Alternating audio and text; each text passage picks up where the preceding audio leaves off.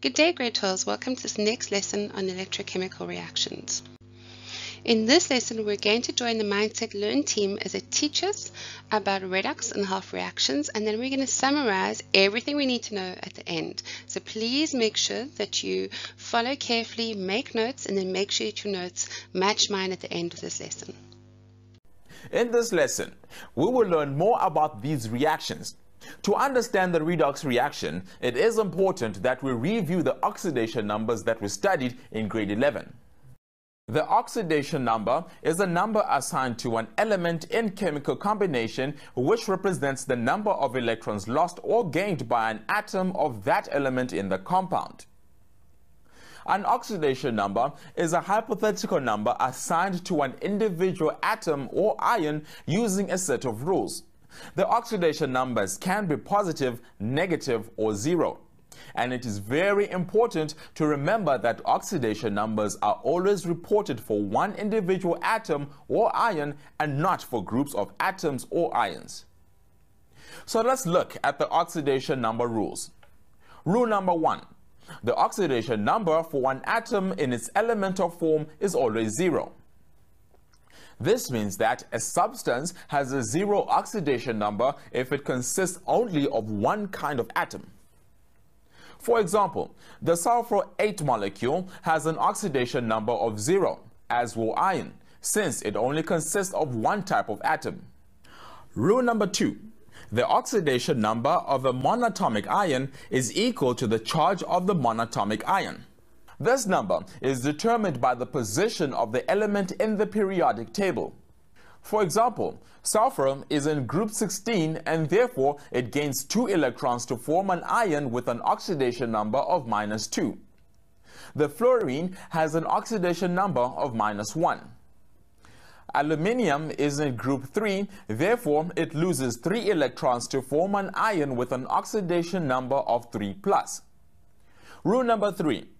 The oxidation number of all group 1 metals equals plus 1 and group 2 metals equals plus 2 when they are part of a compound.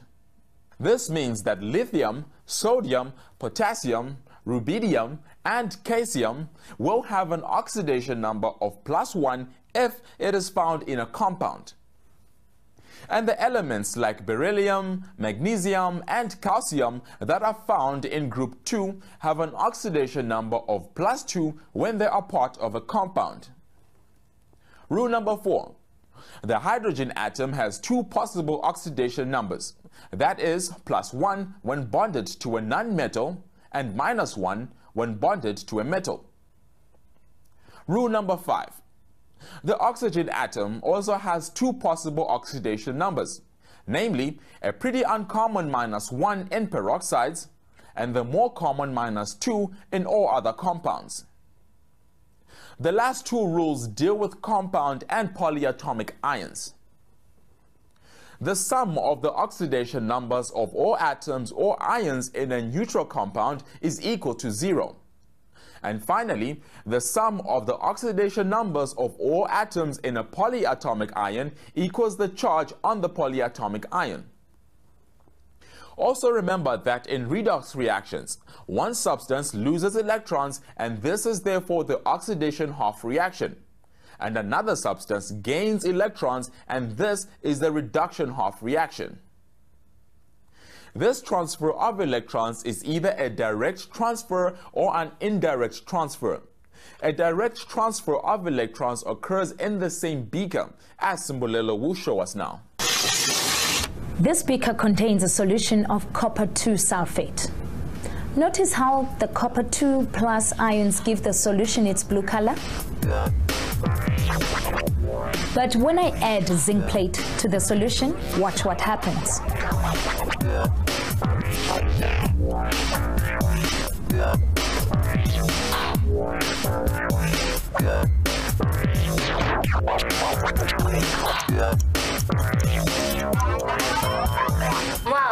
look, an orange red coating forms on the zinc plate. Is that copper metal? Yes. Copper ions change to form copper metal on the zinc plate. Do you notice any other changes? It looks like the copper sulfate solution is not as blue as it was before. That's because there are now very few copper ions in the solution, but the copper isn't the only thing that has changed. The zinc plate starts to dissolve too. We can represent the reaction of zinc and copper sulfate by writing a balanced chemical equation. Zn plus CuSO4 gives you Cu plus ZnSO4. Thank you, Simbulelo. We saw that the solid zinc rod is oxidized because it is a strong reducing agent and the blue copper ions are reduced since it is a strong oxidizing agent. That we can deduce from the standard reduction potential table. This complete table is available to you during tests and exams, but take care, you will receive two tables. In our lessons, we will use table 4b. This has the lithium reaction at the top. On the table, we can see that the zinc half reaction is above the copper 2 plus reaction, therefore the zinc and copper 2 plus will react spontaneously. Let me explain more. Oxidation half reaction that occurs is zinc solid that reacts to form zinc 2 plus ions plus 2 electrons while the reduction half reaction is copper 2 plus ions that gain 2 electrons to form copper solid. The net reaction for this reaction is therefore zinc solid reacts with copper 2 plus ions to form solid copper plus zinc 2 plus ions. This reaction can also take place through indirect electron transfer when the electrons are transferred without the reactants being in the same container. Electron transfer occurs spontaneously from the reducing agent to the oxidizing agent through the external wires in a galvanic cell. Let's look at how we can use the table of standard reduction potentials. The table is called reduction potentials because all the forward reactions on the table are reduction reactions. Something else that we can see is that all the redox reactions are reversible reactions and that the reaction can take place from left to right to be a reduction half reaction or from right to left to be an oxidizing reaction. On the right hand side of table 4b, you see that the reactions are arranged according to their increasing reducing ability. So the strongest reducing agent is at the top of the list, and the weakest one is at the bottom. When we compare two reducing agents, one is always a stronger reducing agent and therefore tends to lose electrons more easily than the other. Here are a few things to remember when we use this table. We read an oxidation half reaction from right to left on the table. For example, if we look at the first reaction, the lithium oxidation reaction is Lithium reacts to form a lithium ion plus one electron. Take note that when you have chosen the direction that takes place, it is written with a single arrow. For a reduction half reaction, we read the table from left to right. If we take fluorine, that is at the bottom of the table and therefore the weakest reducing agent, the half reaction is fluorine plus two electrons forms two fluorine ions we read the reaction from left to right. The half reaction table can now be used to balance redox reactions. Let's look at an example. Balance the reaction between a copper nitrate solution that reacts with solid iron to form iron 3 nitrate plus solid copper. The first step is to write all the compounds in their ionic form. Then we have a copper 2 plus ion plus a nitrate ion and an iron atom that forms an iron 3 plus ion plus a nitrate ion plus a copper atom. You may notice that only the copper and the iron undergo changes. The nitrate stays the same on the left and the right hand side of the reaction. The nitrate is called a spectator ion since it is an ion which does not chemically participate in the reaction. It can be ignored during the redox reaction, but is used to balance the ions in the reaction. The next step is to use the oxidation numbers to identify which substances are oxidized and reduced. In our reaction on the reactant side, the copper ion has an oxidation number of plus 2 and the iron atom has a zero oxidation number. Another product side, the iron ion has an oxidation number of plus 3 and the copper atom has a zero oxidation number. So we can see that the copper 2 plus ion gains 2 electrons and is reduced to copper atoms. And the iron atom loses 3 electrons and is oxidized to iron 3 plus ions. Now we use the table of standard reduction potentials to write down the oxidation and reduction half reactions. See how many reactions you can identify that involve iron and copper. There are five different reactions in this section of the table, so we need to be careful to pick the correct ones. Remember that the oxidation half reaction is written from right to left and the reduction half reaction is written from left to right. So the oxidation half reaction is iron that forms iron 3 ions and 3 electrons and the reduction half reaction is copper 2 plus plus 2 electrons that forms copper atoms. It helps to keep the arrows below each other so that you can identify the reactants and products easily. During a redox reaction, the number of electrons lost must be equal to the number of electrons gained. So the next step is to balance the number of electrons. In this reaction, we have to multiply the iron half reaction with a factor of 2 and the copper half reaction with a factor of 3 so that there are 6 electrons on the left and right hand side of the reaction. We are almost done. All that is left to do is to add the two half reactions to find the net reaction. The electrons cancel out and we find that the net reaction is 3 copper, 2 plus ions plus 2 iron atoms react to form 2 iron 3 plus ions plus 3 copper atoms. So to summarize the reaction, we can say that the iron is oxidized and is therefore the reducing agent. An agent does something for someone else. The iron reduces the copper.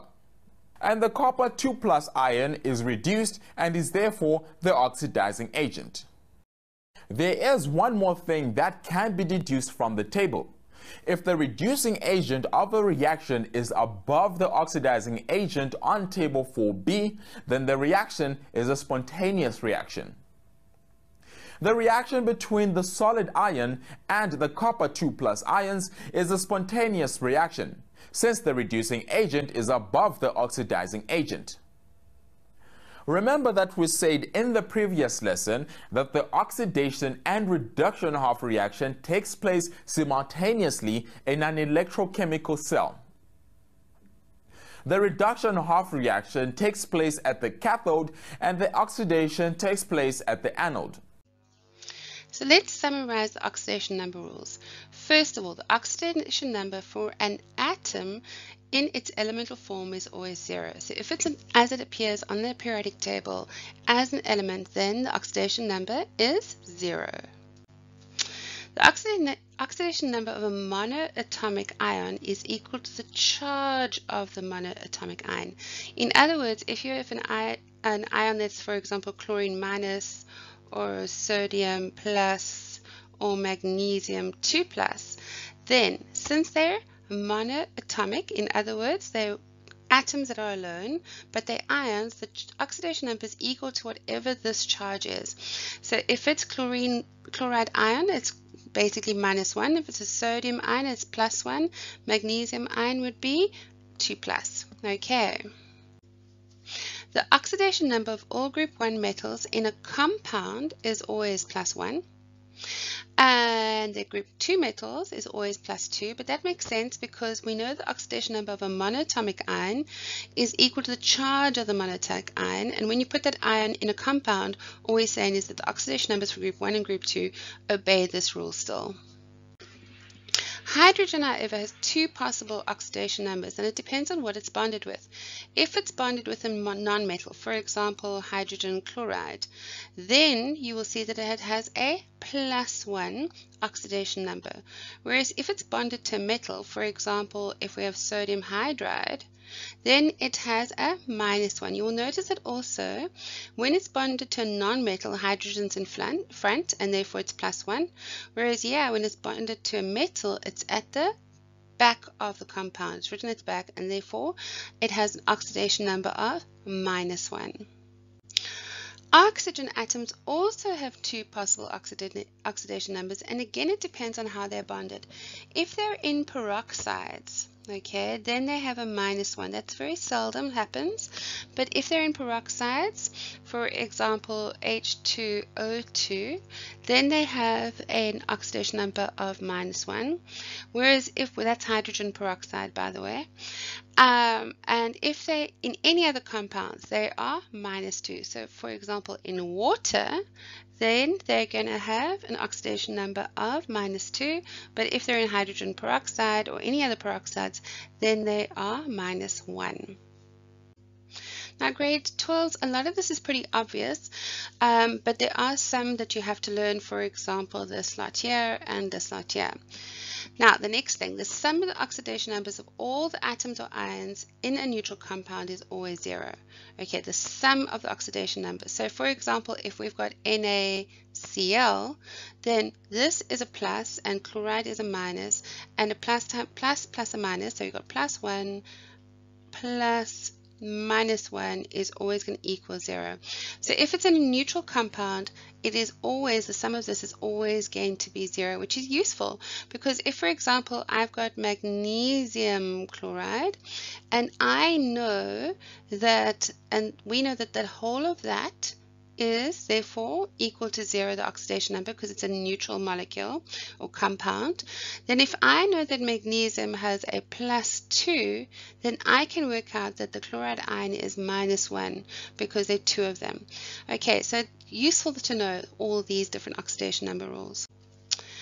Finally, the sum of the oxidation numbers of all the atoms in a polyatomic ion equal the charge on the polyatomic ion. So for example, we've got NH4 plus, the sum of all the charges on the nitrogen and the hydrogens will have to equal to plus 1. Okay. And finally, just a summary of redox. We've done this before lots of times, but let's just make sure. Oil rig is what you need for your redox. Oxidation is loss of electrons. Reduction is gain. That's where we get oil rig from. And then red cat and anox. Reduction occurs the cathode and at the anode you get oxidation and you need to learn these. So grade 12, in order to be able to work out whether something's been oxidized or reduced, you need to look at the oxidation numbers. You need to learn your oxidation rules and then go do the assessment in the 2Enable system and make sure you understand and know which things have been oxidized, which have been reduced, and which rules apply. Have a great day.